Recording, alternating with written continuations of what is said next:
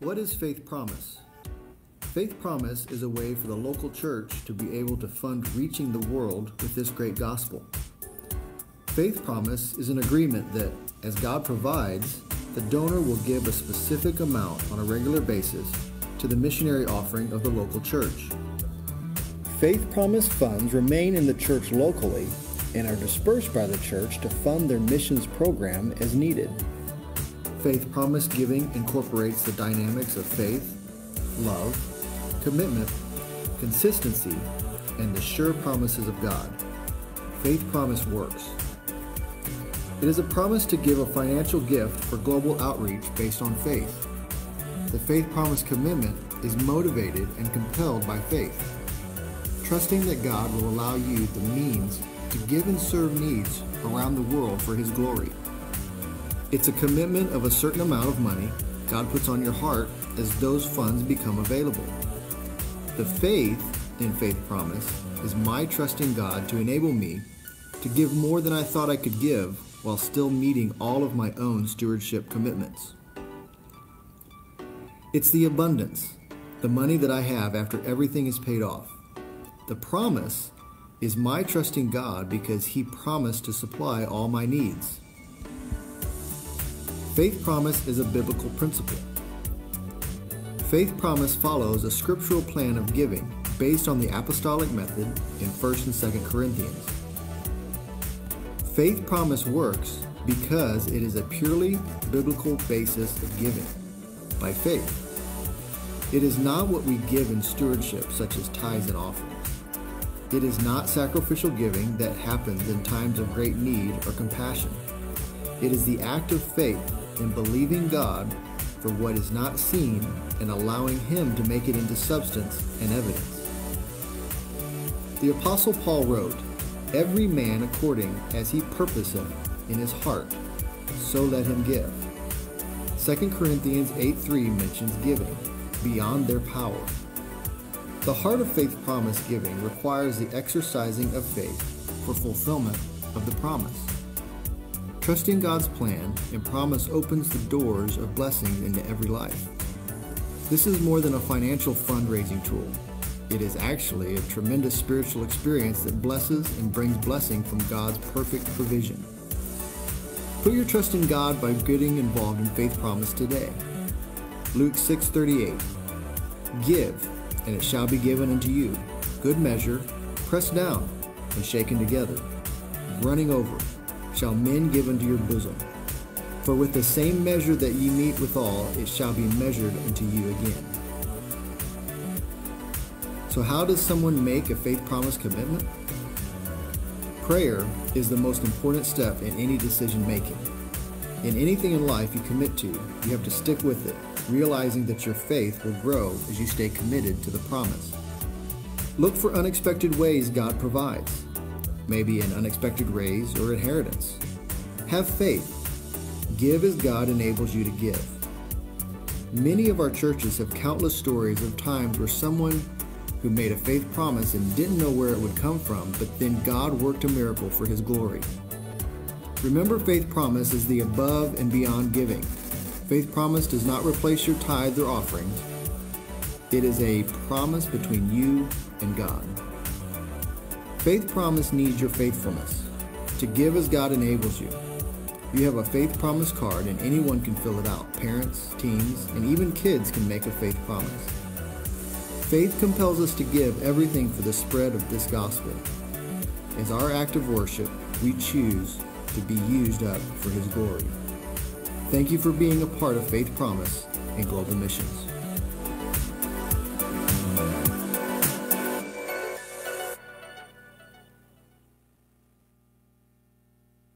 Welcome to Crosspoint Baptist Church. My name is Pastor Theron Crawford Sr. I'm the lead pastor here. I'm doing that because Pastor Theron Crawford Jr., we also call him Pastor T, or if you know him well, you can call him Pastor TT. He enjoys that very much.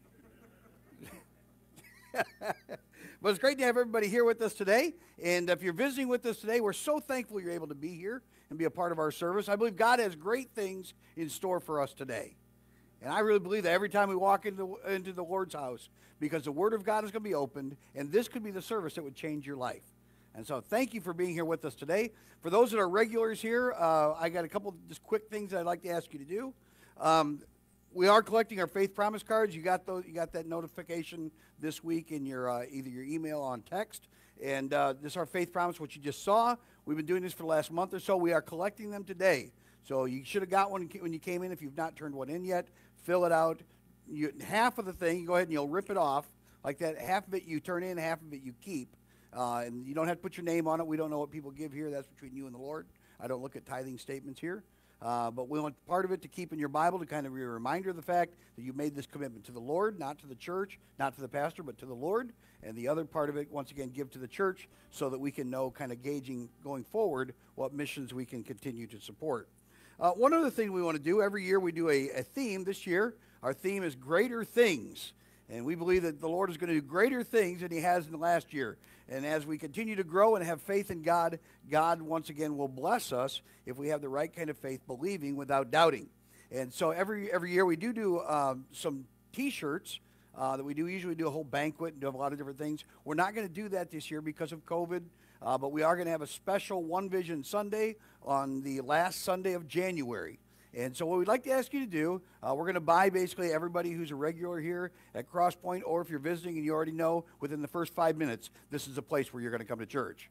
Okay, you can go ahead and sign up here as well. Uh, there's no cost to the T-shirts. We're getting a great price on them, so we're going to go ahead and purchase them as far as the church is concerned.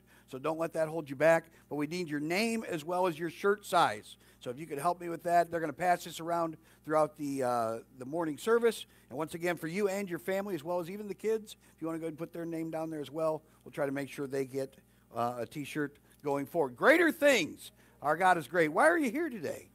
Huh? We're here to hear the word of the Lord, right? But we're also here to praise his name. And so let's go ahead and stand, please. And we're going to sing a song, one of my favorite songs. Here I am to worship. It's a newer song, great song. Sing it from your heart this morning.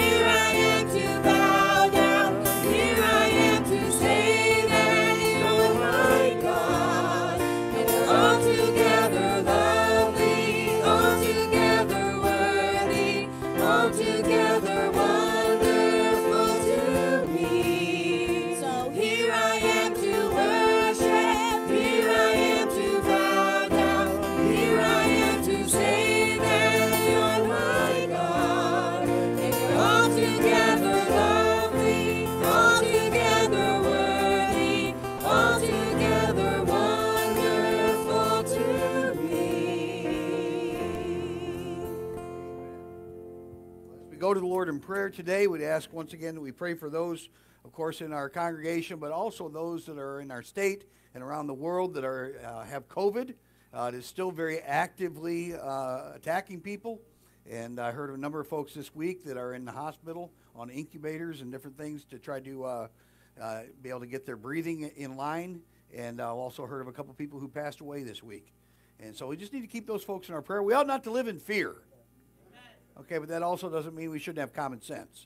And so let me encourage, it's a strange thing in the United States, isn't it? You can have that. Uh, but uh, let's go ahead and continue to pray that the Lord would watch over those folks. And then also, uh, we've had a couple uh, deaths uh, that have taken place recently here. Uh, Judy Hoeksema, who is a member over at Solid Rock Baptist, a lady that my wife and I love dearly. She's so sweet to us. Went home to be with the Lord earlier this week. And so we can keep their family in prayers. but also the Buscard family, Barb Buscard, who's been coming for quite a while uh, to our church. Faithful lady. Appreciate her so much. Her husband went home to be with the Lord.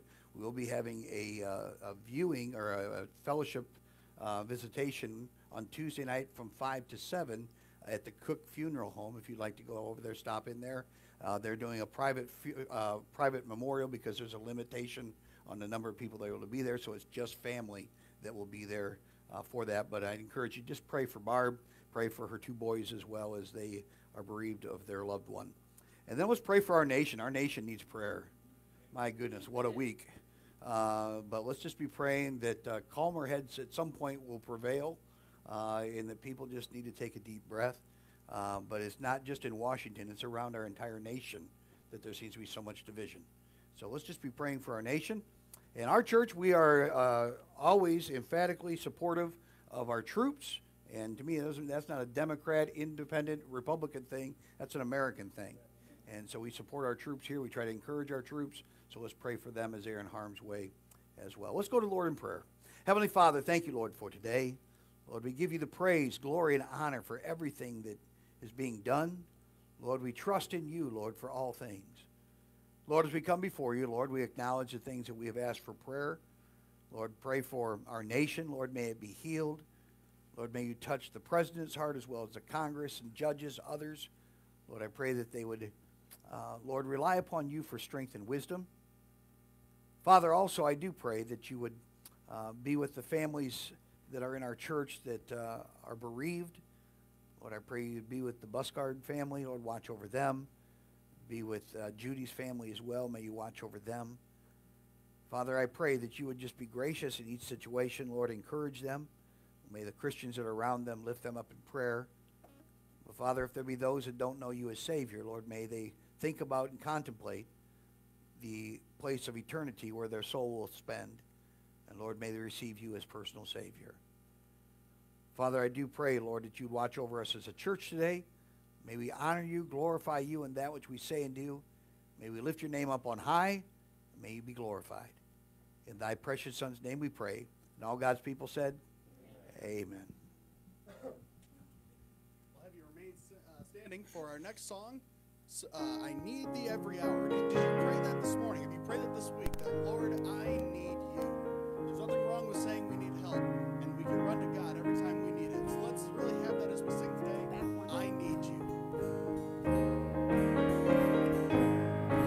one second. There, go back one. You're on the chorus.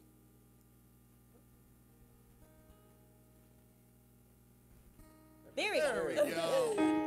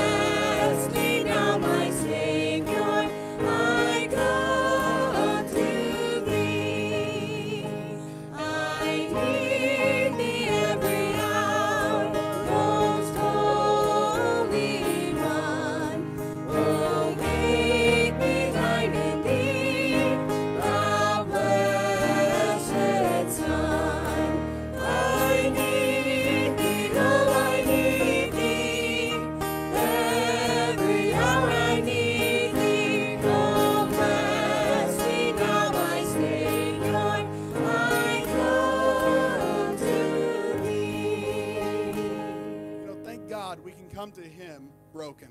Amen. We can come to Him just as we are. We don't have to be perfect, thank God. Amen. 'Cause I don't know about you. Where's my wife? She needs to plug her ears. I'm not perfect. you know, and I can come to God just as I am. And He wants to hear from me. So really sing that, really think about that as we sing that today. Just as I am.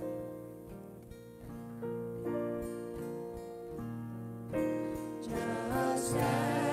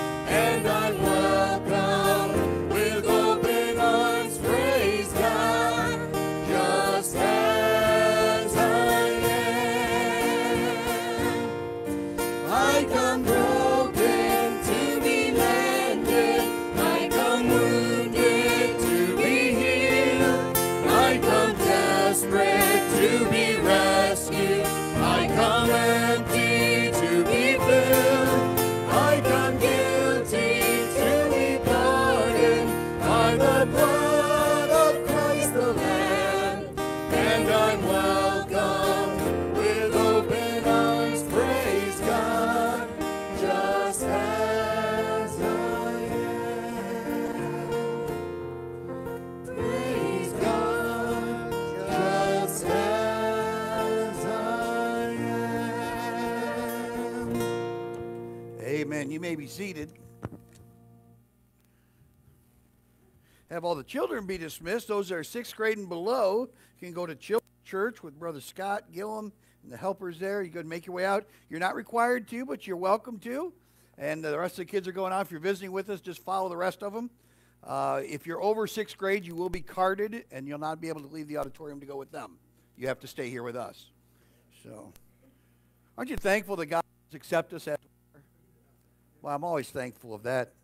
And um, we're telling a story of a doctor, a nurse, and a top executive of a health insurance company all died and stood before St. Peter at the gates of heaven.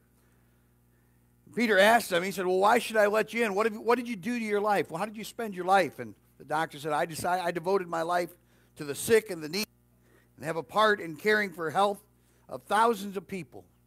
Peter said, That sounds great. Go into heaven and live forevermore.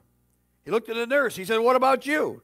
She said, Well, I trusted Christ as my Savior, but I've also supported the doctor and his patients my entire life as an adult and have taken time to explain things patiently with each person and have helped them to live a healthier life. St. Peter said, Well, Andrew, that's wonderful. He said, You can proceed in with the doctor and enjoy heaven forevermore. He looked at the health insurance executive. Said, What about you? What have you done with your life? He said, I was the president of a very large health organization, an insurance company. I was responsible for the health care of millions of people all over the country. St. Peter said, Oh, I see. Well, you can go in as well, but you can only stay two nights and then you're out of here.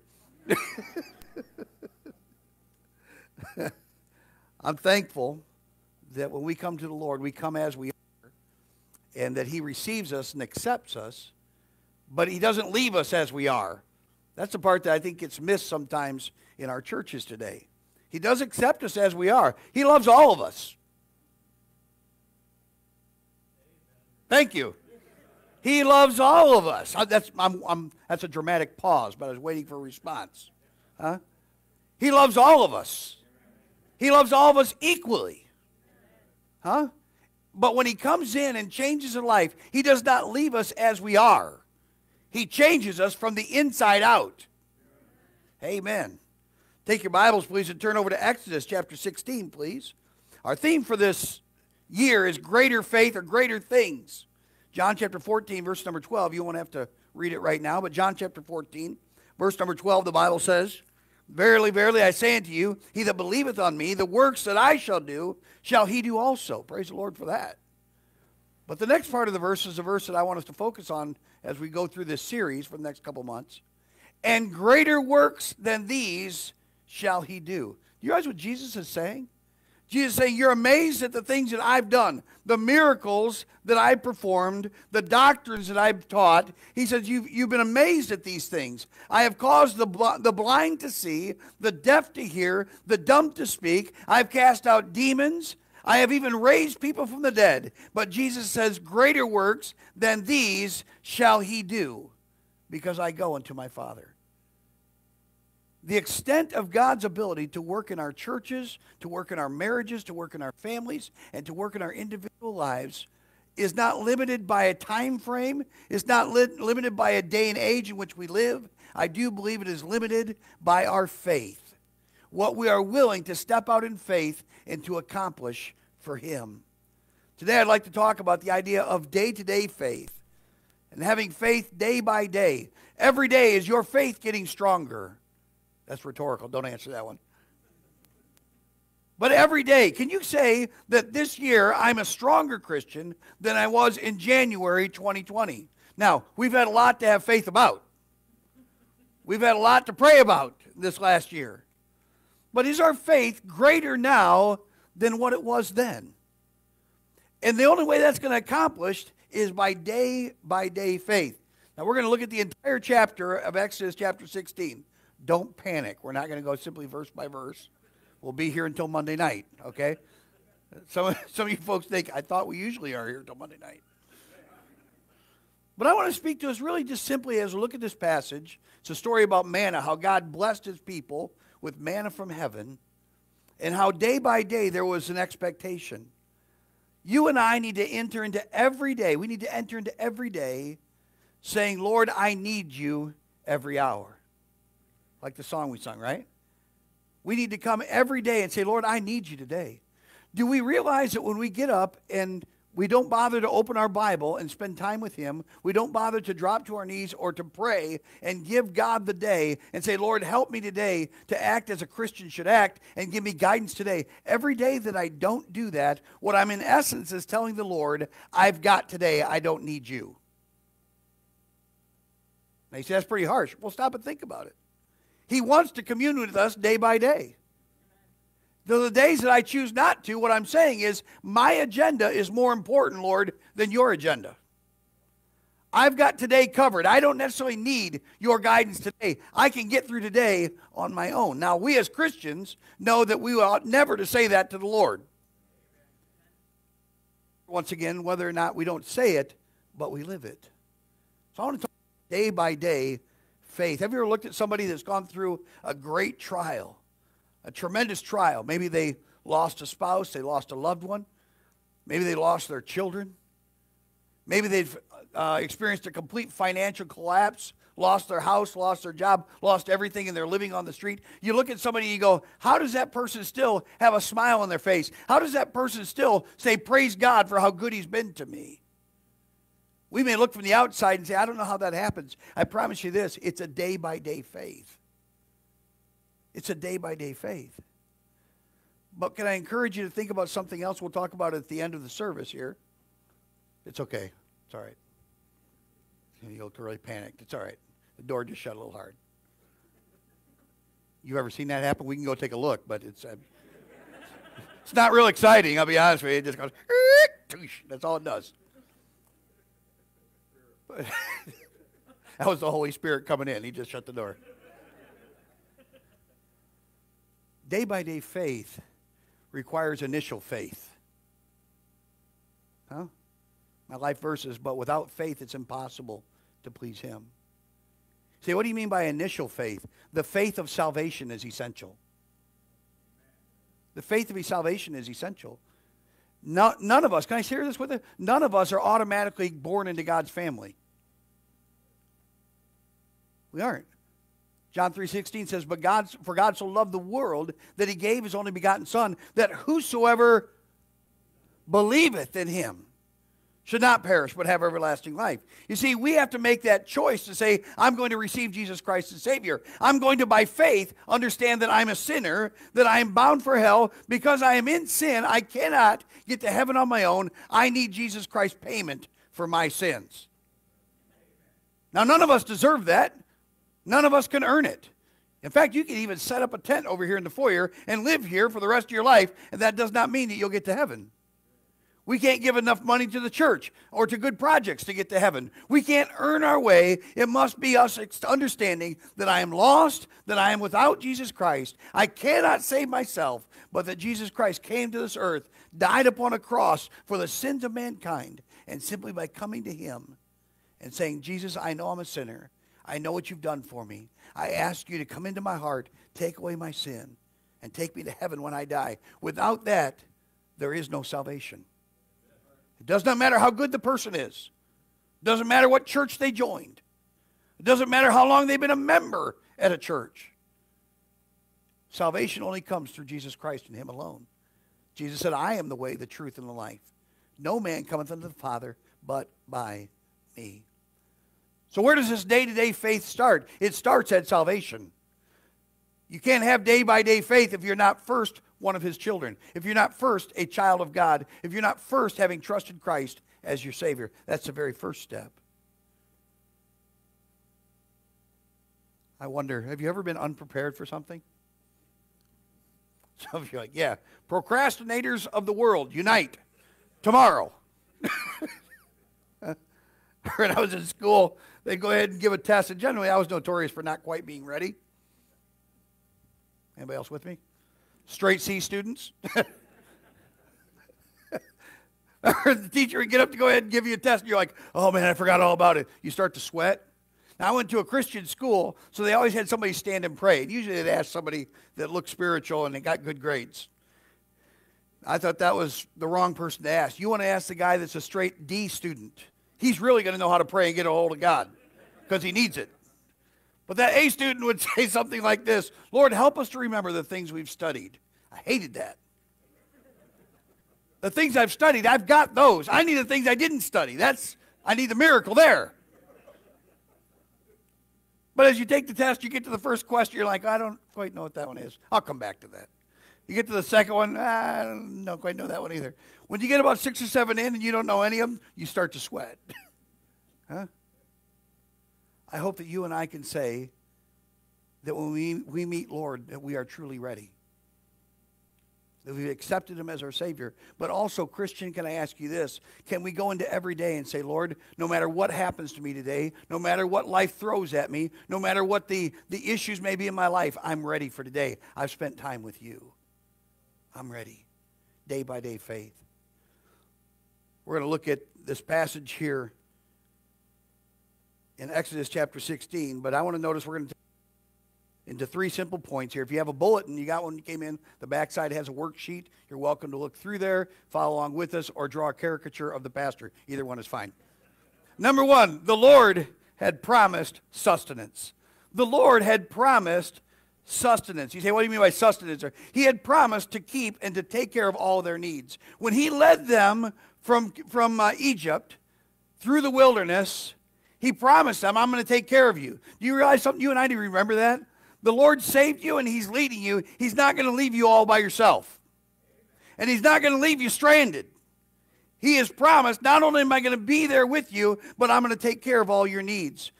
Philippians chapter 4, verse number 19. The Bible says, But my God shall supply what? All your need according to his riches in glory by Christ Jesus, not according to my riches. Right? Say why? Because sometimes I've had times in my life I didn't have two nickels to rub together. I didn't have anything.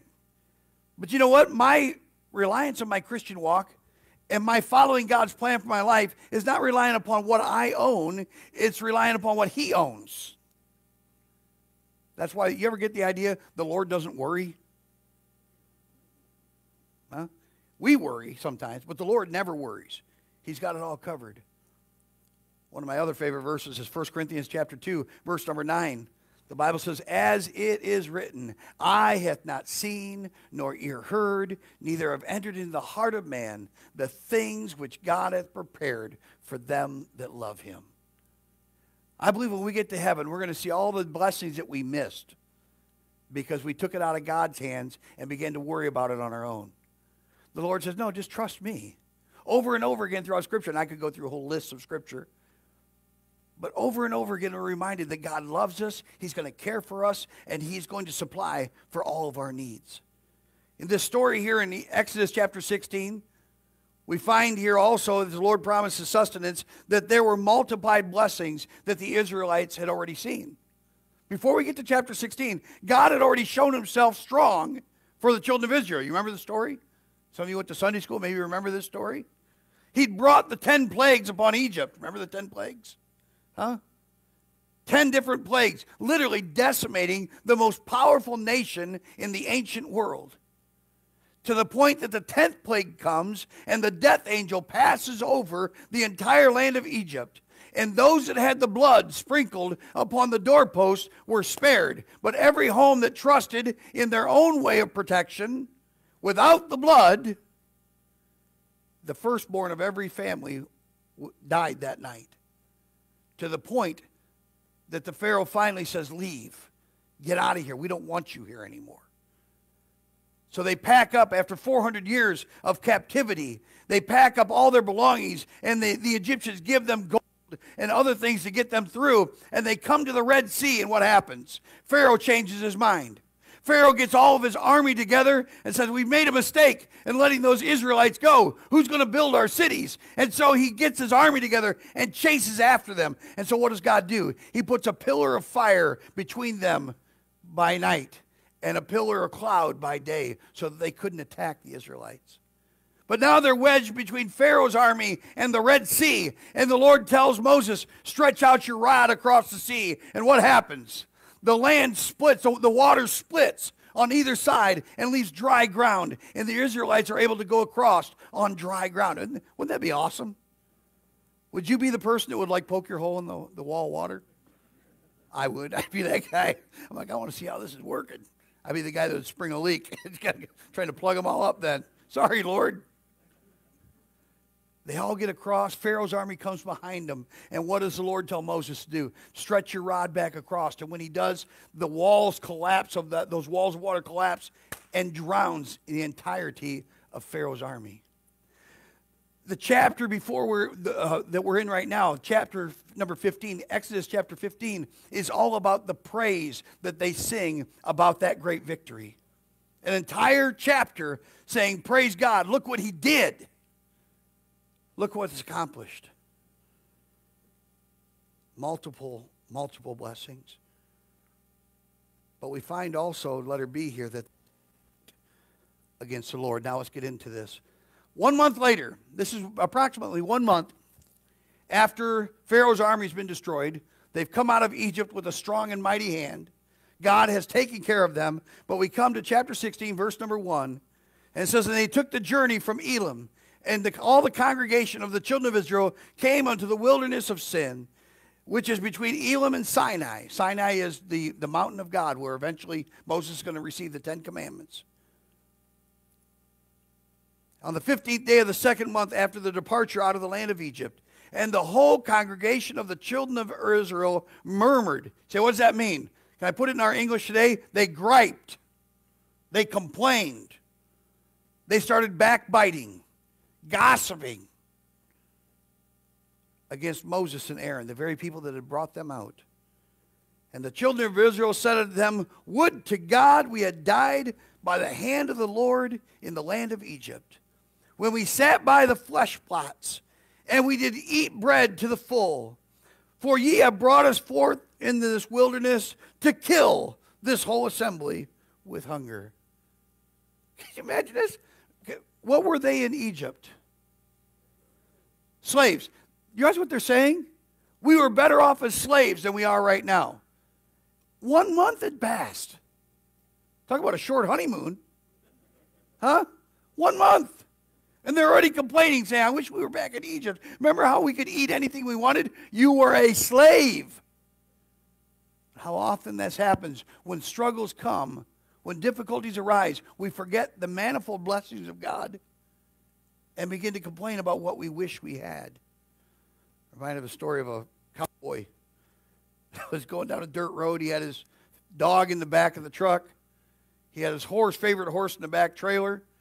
He hit the corner too fast and rolled the entire truck and trailer, wounding the horse, wounding the dog, and he himself was wounded as well.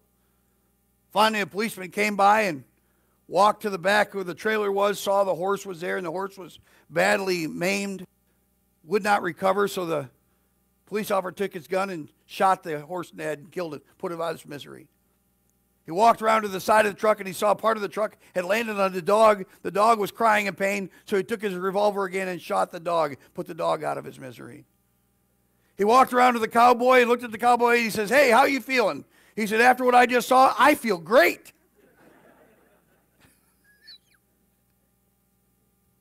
there was another there was another story. I'm sorry, I pull stories today. There was a, there was a, a monk there was a monastery years ago back in the Middle Ages. He went there and he took a vow of silence. Didn't say a word. For 10 years, didn't say a word.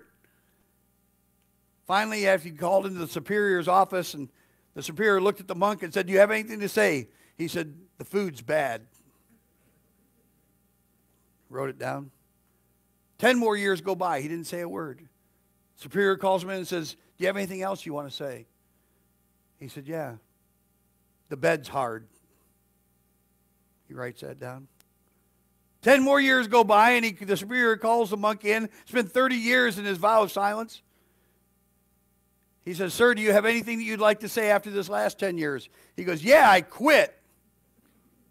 Superior replied to him, He says, It doesn't surprise me a bit. All you did was complain ever since you got here.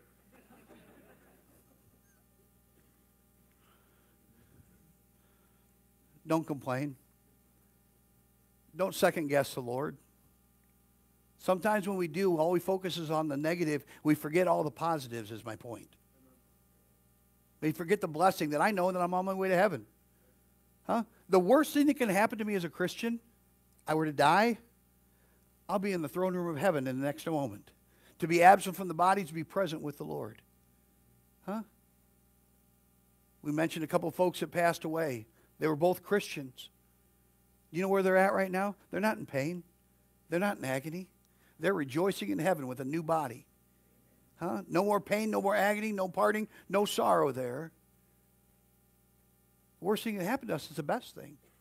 If we're not careful, all we can focus on is everything that's going wrong, and we don't appreciate the beauty of the life that God has given to us. Number two, the Lord has an expectation of faith. You know, the Lord expects us to trust Him. Imagine that.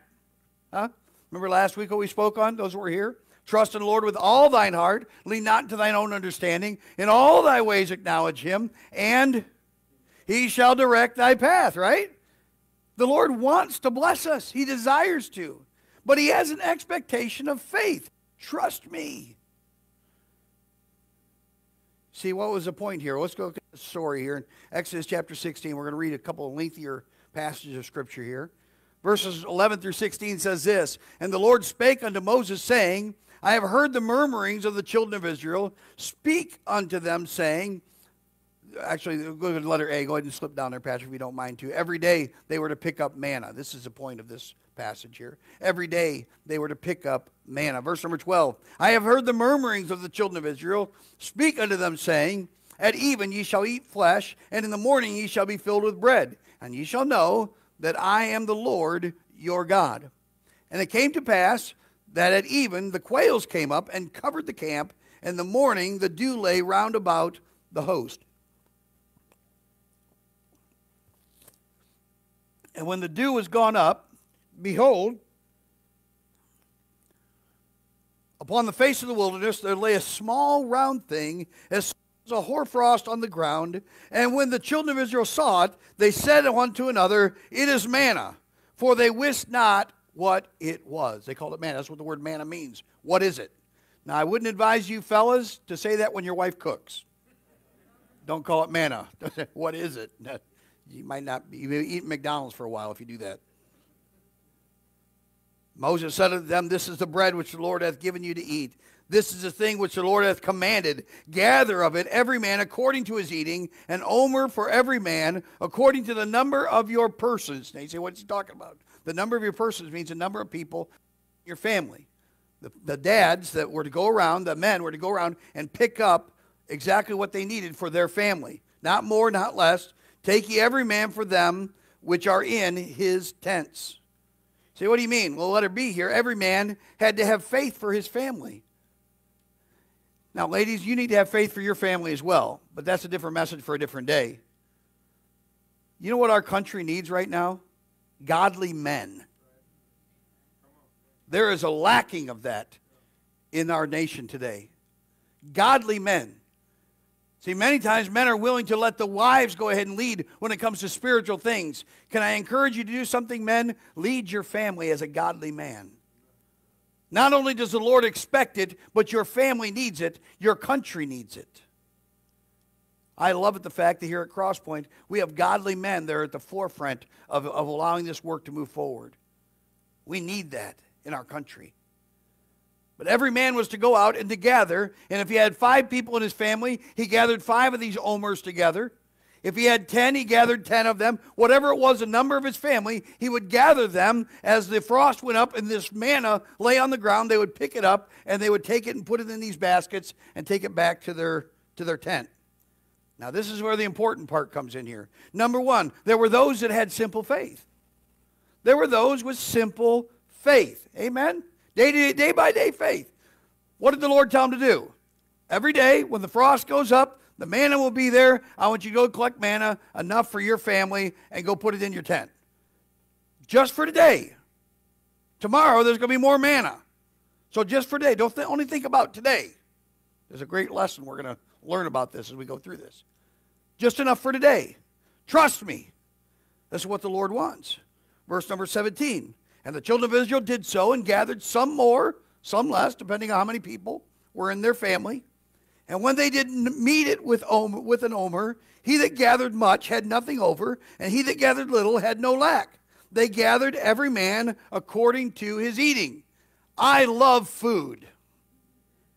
Come on, you bunch of hypocrites. I love food. I have a fascination with cheeseburgers, especially bacon cheeseburgers. I have a love hate relationship with double stuffed Oreos. I got a lot of things that I love. But there are some I know that you, you don't care for food like that, and that's not your thing. You're missing out on something wonderful. I just throw that out there. Okay? But the Bible says those that had a healthy appetite had enough, and those that ate little had enough. What's the lesson there? God is going to give each and every one of us exactly what we need. Some more, some less. Maybe Caleb is going to have a worse day than what I will. You say, why? Because he's Jamie's son. He's going to have a worse day. Maybe Michelle is going to have a harder day than Carissa. God is going to supply exact amount of blessing, strength, and grace that you need. You don't have to falter or don't have to worry about can I get through today. If we trust in the Lord, we'll always make it through. We don't have to worry about it. No man lacks. I love that. Huh? He that gathered little had no lack. He had enough, he could eat until he was full. They had simple faith. That's what we need to have. But number two, there were those lacking in faith who picked up too much. Oh, here it goes, right? Your thinker gets in the way. God told us to do something, but I, I'm a common sense person, Pastor. Well, we need to be a faith filled person instead. Verses 19 and 20. And Moses said, Let no man leave of it till the morning. You got your omer that you've got, right? Let's just take one of them. I got my omer. I'm the only person in my tent. I fill it up. I gouge my gorge myself. I'm full. Oh man, that manna tastes delicious. Moses said, "Okay, now don't pick up some for tomorrow, late night snack or anything else. Huh? Just eat that what you've got there, and tomorrow some more will be there. What does human reasoning say? Well, let's look at what human reasoning does. Notwithstanding, they hearkened not unto Moses. They didn't listen. But some of them left of it until the morning. They wanted to make sure they had some for tomorrow. And it bred worms and what? Stank. I love that word. you say, we say stunk. No, it stank. Where I grew up, man, that's what you say. Oh, that stank. Huh? you know what? and Moses was wroth. He was angry with them. Why? What was the problem? They lacked in faith. See, they, they didn't have day by day faith. They knew that God could give them the manna. They ate the manna from today, but tomorrow it might not be there. So I'm going to go ahead and keep a little extra, even though God said it will be there tomorrow to your full, but I'm going to hold on to some. You know the interesting thing? The next morning when it stunk, everybody could tell who those people were. You ever think about that? You're going to the tent, going by the tent. Everything's going good. Hey, Caleb, how you doing, buddy? Chris, how you doing? Jeremy, phew. What is going on in your tent, man? Jeremy didn't have faith. He gathered more. He did, I don't know if it's going to be there tomorrow. And it stunk. See all these little pockets all over the children of Israel's camp. Whew. Need Febreze or something going on here. A plug in. It stinks. Do you know what? When we lack in faith and we don't trust God, it stinks. Do you know why people don't respect Christians much anymore? Because we live just like they do. Huh? The economy goes down, we panic like they do. The, you lose your job, we act just like they do. So why should they respect us? See, what the world needs to see is Christians that have a smile on their face no matter what's taking place in this world. Why? Because I'm just a pilgrim here. Huh? I'm looking for a greater city. I'm looking forward to the fact that I'm going to see him in heaven someday. But I know that the Bible always says this My God shall supply all your need according to his riches and glory. I don't have to worry. Things get tight. He owns the cattle on a thousand hills. Huh? Know what the Bible says? He owns cattle on a thousand hills. You know what? If things get rough, he can sell off some cattle too. He'll take care of me. What the world needs to see is true Christianity. True Christianity. Number three, those who wanted to do it their way. Those that wanted to do it their way. Say, what do you mean? By only picking up one day's worth on Friday. Six days a man shall work. On the seventh, what does the Bible say? It's a Sabbath day, right? Seventh day, you're supposed to rest. All right, so for six days, every day, pick up just enough for that day. And on the sixth day, I'm going to provide. Let's look at verse number 22. And it came to pass that on the sixth day they gathered twice as much bread, two omers for one man. twice as much. And all the rulers of the congregation came and told Moses. And he said unto them, This is that which the Lord hath said. Tomorrow is the rest of the holy Sabbath unto the Lord. Bake that which ye will bake today, and seethe that ye will seethe, and that which remaineth over lay up for you to be kept until morning. And they laid it up till morning as Moses bade, and it did not stink. Remember the before? It stunk if they kept it overnight before. But when they trusted him on the Sabbath day, by that Friday before the sun went down, to go ahead and have enough for Saturday, that bread didn't stink, even though it was left over. It's a miracle. Six days, verse 26, shall ye gather it, but on the seventh day, which is the Sabbath, in it there shall be none. In other words, there's no manna going to be on the Sabbath day. No need for you to go out and pick it up off the ground. It's not going to be there. Now, that's pretty common sense, right? Come on, even Baptists can say yes. Okay, that's pretty common sense. Huh? And it came to pass that there went out some of the people on the seventh day for to gather. Huh? It's, actually this. It's not my head. Don't hurt. Huh? Moses just told you there's not going to be anything there. I don't know, Moses. I'm still going to go out on Saturday. Where's all the manna? Did you not listen? Huh? And found none. And the Lord said unto Moses, How long refuse you to keep my commandments and my laws? See, for that the Lord hath given you the Sabbath, therefore he giveth you on the sixth day the bread of two days. Abide ye every man in his place, let no man go out of his place on the seventh day. You know what the Lord says? I'm going to give you enough to take care of things. Now I'm going to say something. I don't mean to offend you. I know there are some jobs where you're required to work on Sundays, work on a Wednesday afternoon or evening instead of come to Bible study. But can I encourage us to do something? Always put the Lord in his proper place. Huh? I could make double time on Sunday if I work on Sunday. Hang on a second. Can the Lord give you more than double time? If you put him first. That's where faith comes in. Pastor, I don't got much time, and that Wednesday night's the only time I got for myself. Will the Lord make enough time for you if you put him first? Say, oh, Pastor, you're meddling now. I know. But that's exactly what the principle is found here. Put the Lord first. You don't have to abuse the Lord's day in order for him to take care of your needs. Lord's like, I got it covered. I'll give you enough to supply for everything if you'll put me first. Instead of the job, instead of money, instead of things, put me in my proper place. And what will happen? Number three, the Lord gives sufficient faith for the day. The Lord gives sufficient faith for the day. Letter A here, it was enough for each day. It was enough for each day. The Lord knows what tomorrow's going to bring. And so when we take the time, remember I talked about this? That we take our Bible every day. Before we get going with our day, we spend time with Him. We get on our knees, kneel beside our bed, or we wherever we're at, we say, Lord, I need you. I don't know what to bring, but Lord, I know you're going to give it to me.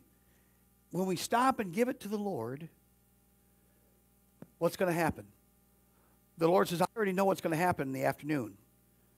You're going to get your pay cut this afternoon, but it'll be okay. You put me first. I've got you. Amen? Huh? You're going to hear about a passing of a loved one. It's going to break your heart, but it's okay. You can have a hope and not sorrow as those that have no hope. I've got it. We don't know what the day is going to bring, but he says, just day by day, trust me. Trust me day by day. Wouldn't it be great if God blessed like he did then? What a miracle that was that they could eat manna every day. It tasted like honey, it said. I picture it's kind of like, you ever been at Logan's? You know that, that, that, those, that bread they get and they put the butter on top of it? Yeah. I told you about my love affair of food. I'm telling you. I didn't get this side by saying no thank you. You say you're not in shape. Pear is a shape, just different type of shape. But you know what? They ate all this food. God provided every day, right? Food. Quail from heaven, huh? Came and they would beat it down with sticks, and they had they had meat and manna. Angel food, so to speak. Every day. Man, wouldn't you be thankful if that was the case? Huh? Numbers chapter 11, verses 4 through 7. I have it up here on the screen so we'll know. But it was complained about after a while.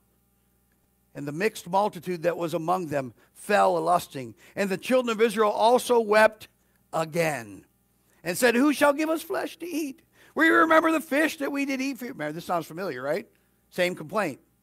The cucumbers and the melons and the leeks and the onions and the garlic. Well, that doesn't even sound good to me, I'll be honest with you, but I guess that was the thing.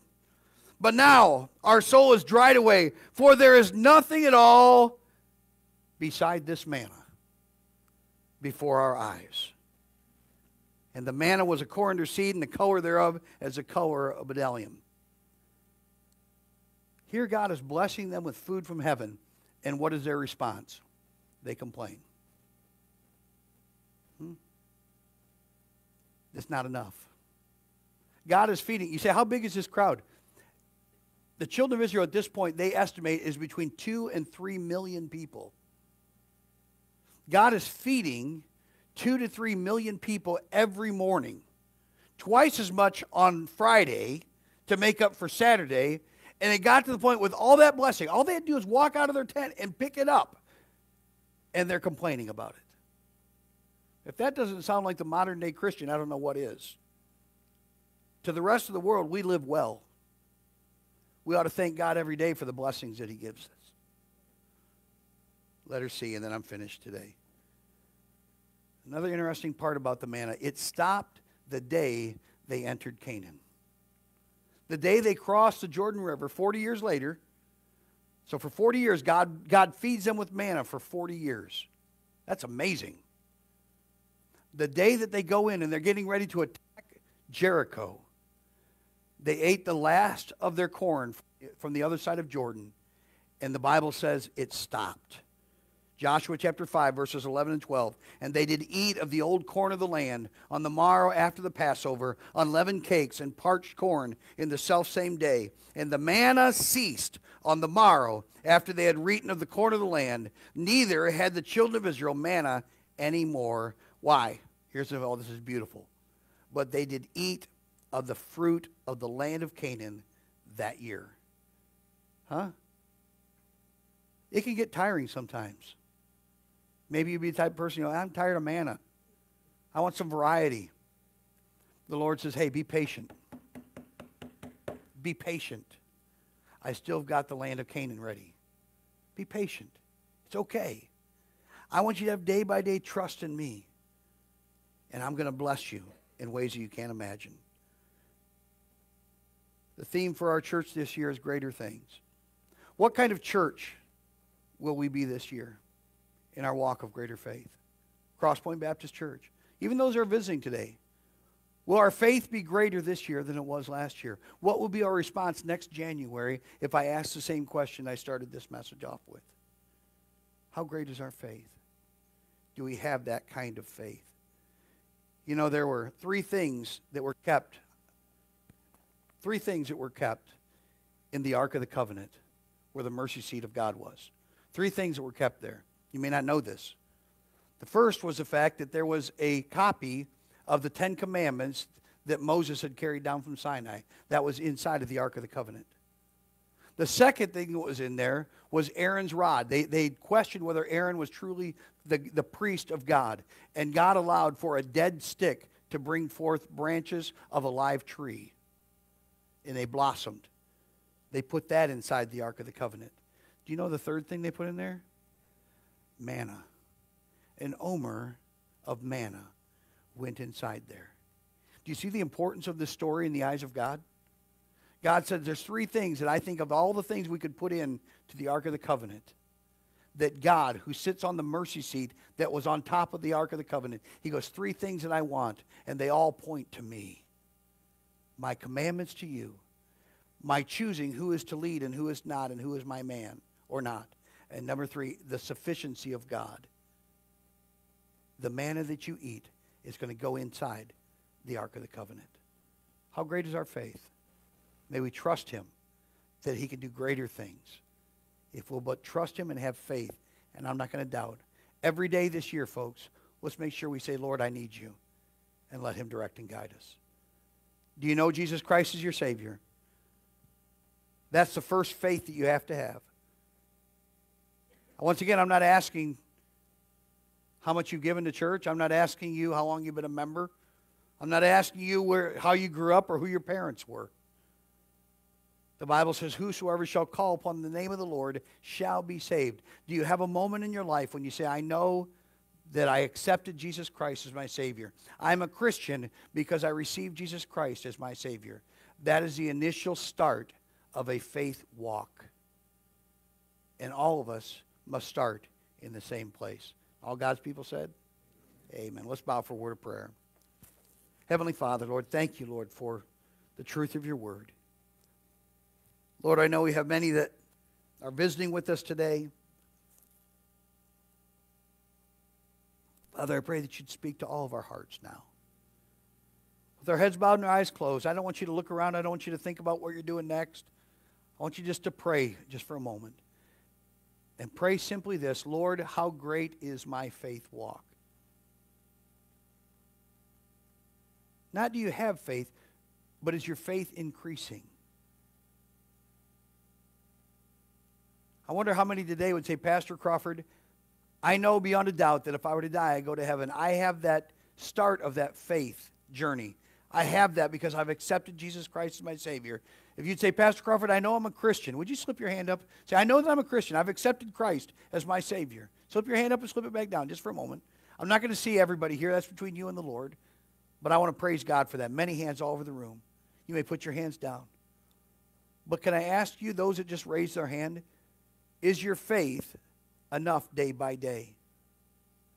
Or is it like a roller coaster? Some days it's great, some days it's horrible.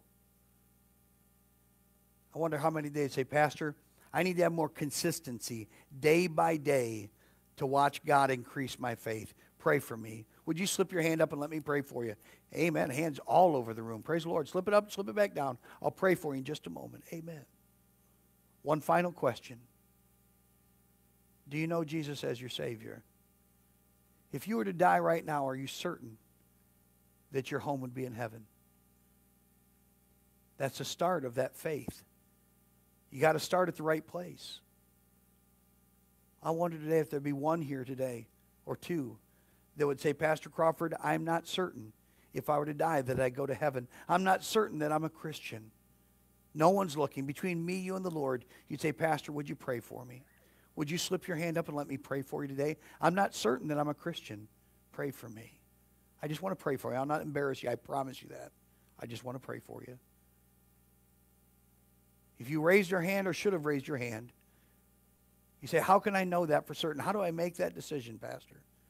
You can make that decision right there in your seat. You don't have to go to a certain place or do a certain thing. We all are saved the same way by coming to Jesus Christ and acknowledging our sin and asking Him to save us. Right there in your seat this morning, you can settle that question and you can know for certain that you're a Christian by praying a simple prayer like this Dear Lord Jesus, I know that I'm a sinner. I don't deserve heaven. I know I deserve hell. I know that you died on the cross for my sins. But I ask you now to come into my heart, take away my sin, and take me to heaven when I die. I'm trusting in you and you alone for my salvation with our heads bowed and our eyes closed, if you prayed that prayer this morning, if you say, I prayed that prayer, Pastor, believing it in my heart this morning, would you slip your hand up and let me pray for you? You say, I, I, I prayed that prayer this morning, Pastor. I received Jesus Christ as my Savior. Just slip it up and slip it back down. And I'll pray for you.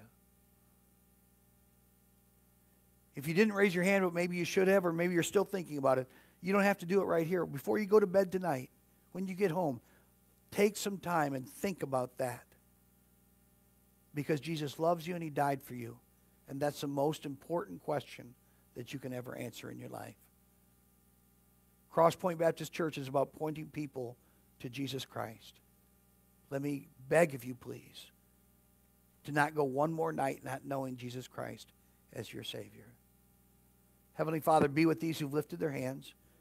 Those that need to have greater faith, Lord, may you help them to have a meaningful change in their life.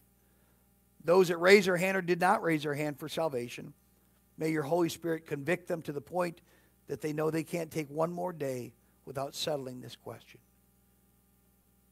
Lord, we trust you, Lord, each day that our faith will increase. We ask you as Crosspoint Baptist Church that our faith will be greater day by day. In thy precious Son's name we pray. And all God's people said, Amen. We'll have the ushers come forward. We'll receive our offering. The kids will be coming in from Children's Church in just a second here. I don't know if they're, there. Janet, are they ready yet? Are they, Pastor T? Not yet? Okay, they'll be on their way in just a second. Um, but I encourage you to give from your heart. If you got a visitor's card, maybe you didn't turn it back in, you can put that in there as well in the offering uh, bag as it goes through. Uh, they'll kind of bring a bag around. We're trying not to pass the plate, so we pass the uh, the bag through. They'll bring it in front of you. Uh, we don't look at tithing statements here. I have no idea what people give. I don't care what you give. That's between you and the Lord. But I do believe this: if God has a hold of your heart, He also has a hold of your wallet. Okay, so you just give as God directs you and he'll bless you for that. If you've promised already with faith promise, you can start giving that right away. You don't have to wait until we finally have that number total. But if you promised him to start giving already, I encourage you to start this this week uh, to give towards faith promise. Brother Steve Sano, would you please turn around, please, and uh, lead us in a word of prayer for the taking of the offering?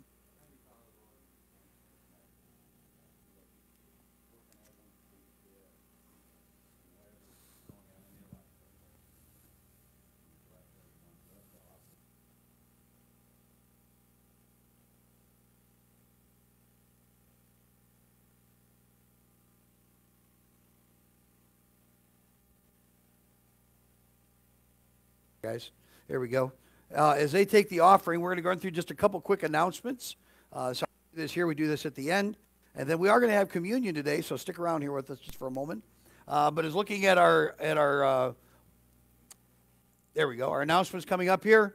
Um, on the 15th, we have a Red Cross blood drive. We have a couple people that have already volunteered to help with that. But if you're interested in getting on a rotating schedule with that, every two months we have the, the uh, American Red Cross comes here and we, we have donation people donate blood. They come here. One of the reasons we do as a church, we want people that wouldn't come into our church any other way, but they'll come in to go ahead and give blood. It gives us an opportunity to give them a track, an opportunity for them to see what our church is about, and uh, we're a church plant, so it's an opportunity for us to be an impact in their life. On the 16th, on the 16th, that's next, this next Saturday, right? Next Saturday, uh, there's a wall builders. There's a, a, worksheet that's out there. It's for all of our men. Uh, the men, all the men that are here, you are welcome. You don't have to be a member or an attendee of Crosspoint. You're welcome to come to this. We get together. We have donuts and coffee, and we're going to be looking at Jacob wrestling with God. That's the uh, the theme for this uh, this next wall builders. And the sheets are out there, or you can go to our website crosspointbc.com, and you can download on a PDF there uh, the worksheet. encourage you before you come on Saturday, complete the worksheet so when you get here, you can just have the Bible study and discuss what's going on, okay? Pastor T will be running that for me uh, as my wife and I are going to take a well needed vacation for a couple days. So we'll be gone uh, from Thursday through the following Saturday. So I won't be here next week. Pastor T will be preaching next week. If you've not heard Pastor T, I encourage you to come. Uh, he is like the, uh, I'd say mini me, but he's the, like the, the, the gigantic me. And uh, I enjoy hearing my son preach. I'm sure you'll enjoy him as well. Uh, but he has a heart towards, towards, the Lord. I encourage you to remember that. And then once again, uh, on the 31st, we'll have our One Vision Sunday. All right, we're going to go ahead and have communion at this time. And so if you have a, a cup when you came in, you can go ahead and pull this out. Once again, because of COVID, we're doing this differently than we normally would. If you did not get one, Brother Steve has some there. Go ahead and slip your hand up. And uh, Jamie, could you grab one of those from him, please, brother? And he can take one side and you'll take the other. If you need one of these cups, Brother Steve, why don't you let Jamie grab one? He can go over here to the side.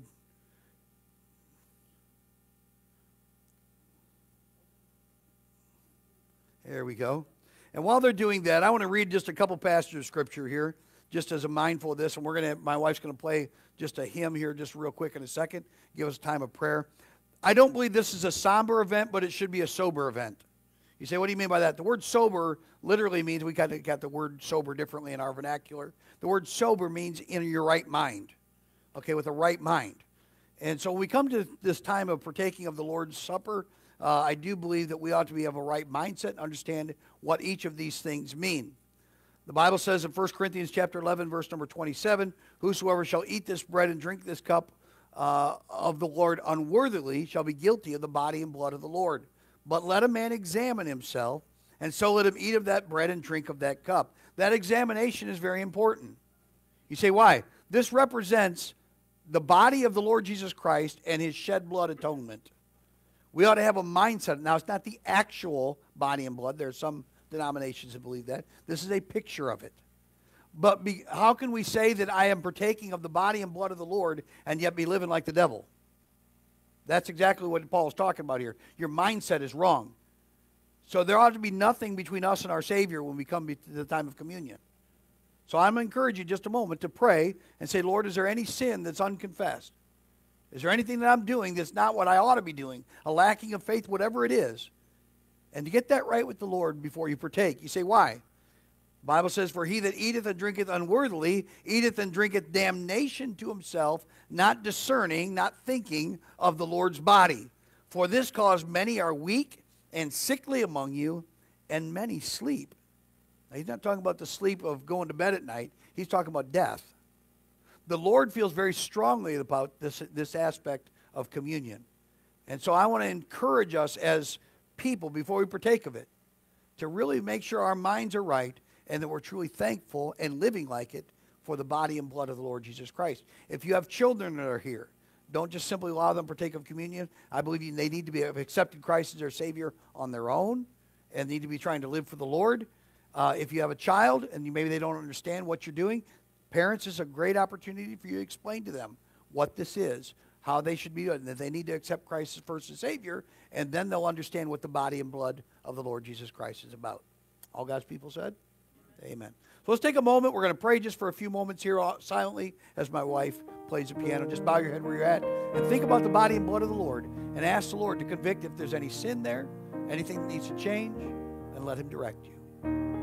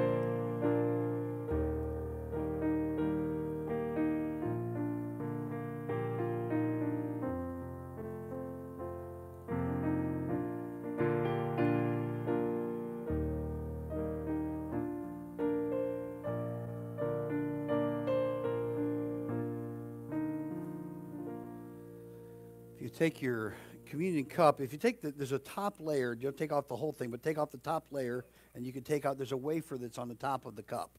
If you haven't got that, go ahead and do that. Take a second. We'll give you a moment to do that. And uh, once again, the, the wafer that's here uh, is a picture of the unleavened bread. Uh, what the Jews would do on the Passover and what Jesus did in the upper room with his disciples is they would partake of unleavened bread. Leaven is always a picture of sin in Scripture. So, what is this picture? It pictures the perfection of the sacrifice of Jesus Christ. He lived his life for 33 years on this earth and never sinned one time. And his sin, once again, we, we put on him, he took upon himself our sin, and he became sin for us. But his body shows the fact that he was sinless, and that's the only sacrifice that God will accept. Remember the story of the lamb? The lamb had to be without blemish and without spot. That's why this wafer is without leaven. It's a picture of Christ's body without the sin. 1 Corinthians chapter 11, verse number 25, it says, And after the same man, uh, excuse me, it says, uh, I received the Lord that which also I delivered unto you, that the Lord Jesus, the same night in which he was betrayed, took bread. And I ask Brother Jamie if you'd stand, please, and lead us in a word of prayer, and then we'll partake of the bread in just a moment.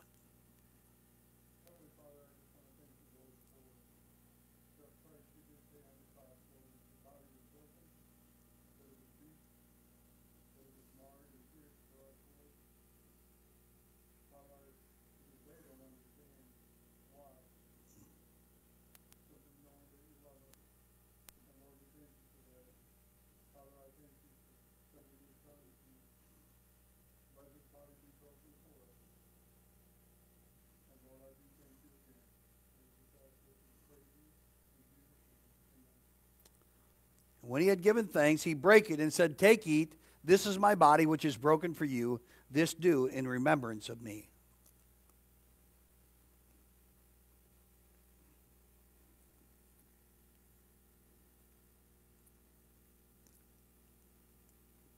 The cup, if you go ahead and take, you can take the top part off of this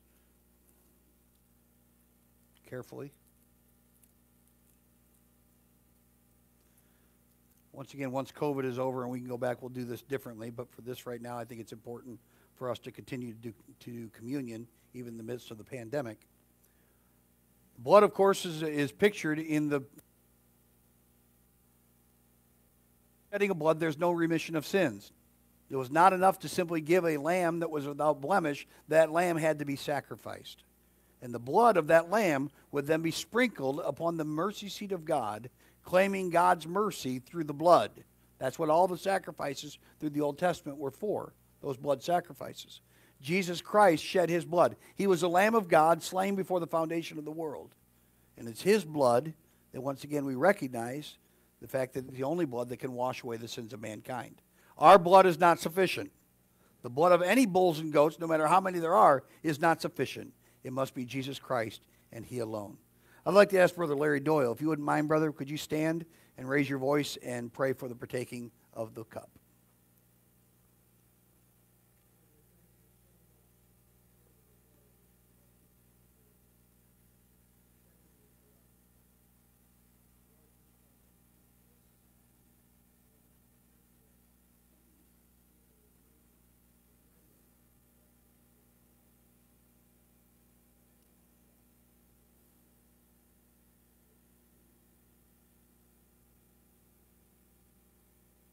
Amen.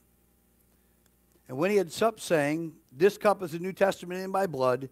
This do ye as oft as ye drink it in remembrance of me.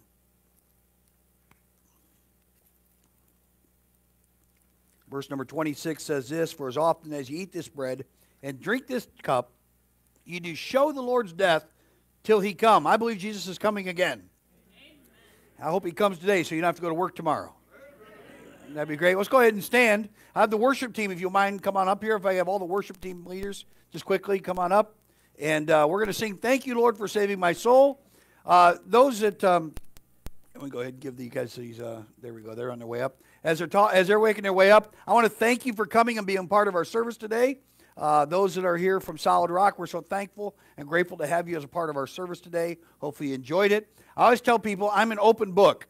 Uh, I'm a person that you can ask me any question. I'll try to give you the best biblical answer I can. If I can't tell you the right answer, dumb looks are always free. And I'll just tell you, I don't know. Uh, so we'll have to ask Jesus when we get there. Uh, but don't ever feel like you'll offend me. Uh, you can feel free to ask me. Many of you got my text number as well. You can text me. I prefer you don't text me at 3 in the morning. My wife answers all those. So um, encourage you, uh, though, to reach out if you'd like. I'd love to sit down and talk with you, share more about what this church is about. God has blessed us here greatly, and we're thankful that you are here to be a part of it this morning. Uh, we got a number of other visitors are here as well. Thank you for coming. And uh, we always appreciate the guests that the Lord brings our way. Encourage you, if you do not have a church home that you attend regularly, I encourage you to come back this coming Wednesday. We'll continue our Bible study. We're going through the book of Ephesians, uh, Ephesians chapter 5. Uh, we're going to continue that. We're going to talk about psalms, hymns, and spiritual songs this week making melody in your heart to the Lord. I encourage you to come be a part of that Wednesday night at 7. We do have an Awana program for the kids that are sixth grade and below. They can come be a part of on Wednesdays, and a teen program that uh, Mustafa here runs uh, over here in the teen room. Oh, Pastor T, I'm sorry, Pastor T. My bad. Uh, but I'm, we love to serve the Lord here and we love to have a happy smile on our face. I'm going to be standing back. I'm not going to shake hands. Those that don't know, I did have open heart surgery a little over a year ago, and uh, I had five bypasses done. And uh, so I've got some other health risks and stuff, but I want to be back there and say thank you. I'll stay back there until everybody's gone. So if you wanted to ask me some questions or you just want to roam around, look at the building, you feel free to do that as well. Thank you so much for coming today. Those that are regulars at Crosspoint Baptist Church, I tell you every week, I mean it even more so today. I love you. I appreciate you so much. There's nothing else in this world I'd rather be doing than being your pastor. Thank you for allowing me to be a part of your life. Let's go ahead and complete this song, and then Pastor T will dismiss us.